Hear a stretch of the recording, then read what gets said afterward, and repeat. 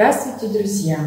Предлагаем послушать рассказ «Новая земля» замечательного писателя Бориса Викторовича Шергина, кудесника северного слова. Он прожил счастливую жизнь не в плане житейского благополучия, невзгод и несчастий на его веку было немало. Счастье было в ином.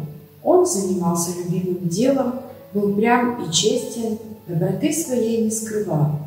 Любил землю, на которой родился. Об этом говорят его книги и благодарная память людская. Наиболее точно о Борисе Викторовиче Шеркине сказал Федор Абрамов, святой, и вещий баян, и монах, и летописец. Всего в нем было намешано, и просто доброта. Каждая встреча с книгами писателя неожиданна, всякий раз завораживает магией шеркинского слова, а все его творчество в высшей степени поучительно. Итак, рассказ «Новая земля». Веку мне сто лет в субботу. Песнями да баснями, гудками да волынками, присказками, сказками, радостью, весельем от старости отмахиваюсь и людей от смерти и тоски отымаю. Архангельская страна, Винская земля богатеет от моря. Угрюмо студеное море, седой океан, и поморы, идучи на дальние промысла, брали с собой на корабль песню и сказку. Таковым-то побытом в молодые давние годы подрядился я в Двинскую артель, идти на новую землю, бить зверя и сказывать сказку мрачные дни. Из-за нас, мастеров-посказителей, артельные старости плахами березовыми бились, дрались, боем отбивали, отымом отымали нас друг у друга. Дула проматель морская, способная повести. Наша лодья от Двины до Новой Земли добежала в пятеро сутки. Зверя в тот год выстала несосветимая сила. Целое лето пили тюлени, моржа, стреляли оленей. Такой задор одолел, гусли-то мои паутиной заткала. Без них весело. Осень пошла. Старики говорят, время обратно. На добычу задоримся, да как бы беды не дождаться. Здесь у ветров обычаи. Весной заведется ветер с юга, полудник, очистит море от льда, утонет льдину на север, вдаль, в неведомый край, и держит льдину у полуночи в задвенелой стране. А осенью приходит день и час, полуденный ветер умолкает, волю возьмет ветер-полуношник, погонит льдину обратно к новой земле, смены летнего ветра на зимний не жди. Вот это с вечера спать завалимся. Ребята, завтра домой непременно. А утро настанет, ветер вчерашний, опять так и подмывает. Коли зверя-то, стреляй, все золото в клубок, жонок и невест всякой добычи в шелк и бархат оденем. До бортов корабль нагрузили, староста назначил час отхода. Тогда артель раскололась надвое. Одиннадцать зашли на лодью, мы одиннадцать толкуем свое. Плывите, доставьте добычу домой, а за нами сюда другой кораблик немедля пошлите. Мы будем ждать, новый груз припасать. Сей год зима не торопится. Староста нас и клял, и ругал. Последнюю минуту с нами остался. Я клятву давал вас, дураков, охранять. Словно слово дадено, как пуля стрелена. Твори Бог волю свою. Вы с меня волю сняли. Те убежали, мы опять промышляем, барыши, считаем. Прошла неделя, другая, время за нами и судну быть. Тайно-то про себя-то тревожиться стали. На задвижении птица улетела, лебеди, гуси, гагары, все потерялось, тихо пропало. Заболели сердца-то у нас, защемило туже да туже. Как-то спросил я, староста, ну что ты с лодьи книги снес? Че темнее зимние месяцы. Он бороду погладил. Вдруг да кому военок на новой земле зимовать доведется. Они нам за книги спасибо скажут. Староста, да небесная над морем повелела. Это от снегов? Нет, дитя, от льдины. И ласково так и печально поглядел мне в глаза. А ты ладь, ладь, гусли-то, ежели не на корабле, так на песне твоей поедем. Ночевали мы в избушке за горой. Пятую неделю ожидания на заре пошел я к морю поглядеть корабли. Иду и чувствую, что холодно, что ветер не вчерашний. Шапчонку сорвал, щеку подставил, а ветер-то нор-тост, полуношник. Ноги будто подрезал кто-то, присел даже. Однако усилился, вылез на глядень и море увидел. Белое такое. Лед, сколько глазом достать, все лед. Льдины-то, что гробы белые. И лезут они на берег, и стонут, и гремят. Жмет их полуночник воротился, сказываю. Только ахнули. Месяц, ждавшись, тоски порвались. А каково будет девять месяцев ждать? Помолились мы крепко с рыданием и зазимовали. Староста говорит, не тужи, ребята, ни радость вечна, ни печаль бесконечна. Давайте избу на зиму налаживать.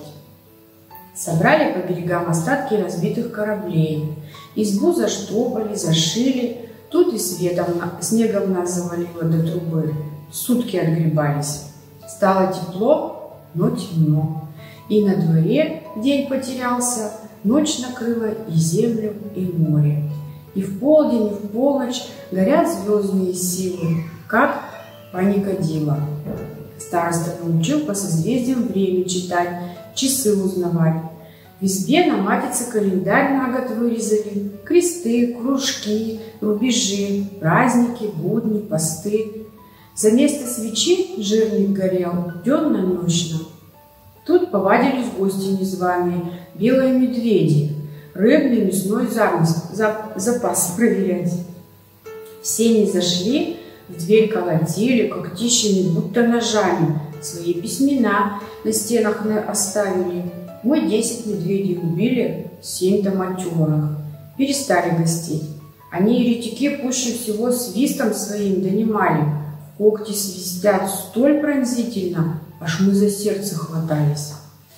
Тут и ветер ветерок из-за гор приударил. По ветру льдина с камнем летела. По две недели мы за порог не ступали, как мыши в подполье сидели.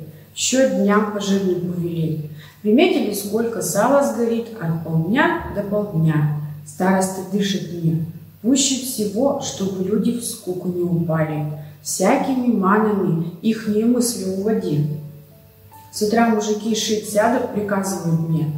Пост теперь, книгу читать, да чтобы страх был. Слушают, вздыхают, а оконце вдруг осветится странным, непременным светом. Говорят в избе сполохи северное сияние. С запада до востока, будто река, вся жемчужная, изумрудная, свернется да развернется – то как бы руки золотые по небу пойдут, перебирают серебряные струны. Вечером ребята песню запросят. Староста строго. В песнях все смехи да хихи. Заводи, буйнок, лучше старину. Сказываю Соловья Будимировича. Из-за моря, моря студеного, выплывают корабли Будимировы. Тридцать кораблей без единого, но с корма по-звериному бока взведены по-турийному, а вместо глаз было вставлено по камню, будто яхонту. Вместо бровей было прибито по черному соболю сибирскому. В пост на бывалину старину разрешено, а уж как заговаривает старинка про любовь, да как зачнут мужики изгагатывать, так староста только головой вертит и руками машет. Но развелась масленица, затопила Великий пост. Про Лира короля слушать любили, по книжке у меня было выучено. Ты, Баюнок, мастер слезы выжимать, поплачешь, оно и легче. Был у меня в артели друг, Тимоша. Перед святками он замолчал. Староста мне наказывал, не давай ему задумываться. Я заплакал. Тимоша моложе всех, что же ему печалиться? то и горе. Стар человек много опытен, беды по сортам разбирает. Это, мол, беда, – это полбеды, а молодому уму не сродно ни терпеть, ни ждать. Я Тимошу отчаянно любил и жалел. Тимошенька, чем ты будешь зиму провожать, весну встречать? Давай сделаем гудок. На деревянную чашу натянули жилы оленьи, гриф от вереска, вот и гудок с погудальцем. Два коровьих рога в чем иглы держали. То сопелки свирели, старосты нам до праздника надо сыгровку делать. Играть нельзя, а сыгровку можно. Во святых-то вечерах винограднички стучат, винограднички красно-зеленые. Праздник всякий вечер ударим в гусли. Запоет гудок девическим голосом, завизжат рожки. Ученица топот, хлопот, скаканье, плясанье. Заж... Зажиг от старости пойдет. Начнет пудовыми сапожищами в половице бухать, перстами щелкать, закружится. У нас песни поют, у нас гудики гудут, золотая труба трубит, переладец разговаривает. За старостой старый млад, аж на ветер по избе, и Тимоша с ними. Только я заметил, глаза у него блестели, и губы рдели по-особому. Утром он не встал, и зачах наш Тимоша. Я обниму его, реву над ним. Тимошенька, не спи, во снах тебя смерть схватит. А он разве, развеселится. Ты не отдавай меня смерти-то. Нет, не укараулил я Тимошеньку, не сохранил, не уберег от смерти. За Тимошей еще трое товарищей повалились в той же тоске. Сам староста перед ними в гудок играл и кружился, все артельные попеременно плясали, смешили недужных. На Афанасьев день января 18-го они рассмеялись и встали. Только Тимошеньку моего не мог я рассмешить. Положили его на глядень, откуда море видать. Графитной плитой накрыли и начертали. Спит Тимоша горожанин, ждет трубы Архангеловы. На Афанасьев день первый свет пожаловал на новую землю. Полдень заря зарумянилась. Мы и ночник погасили на часок. На Аксинью полуземницу солнышко батюшка как бы с красным фонариком прошло по горам. Средине в день солнышко мы навидались. В полном лике оно над морем встало.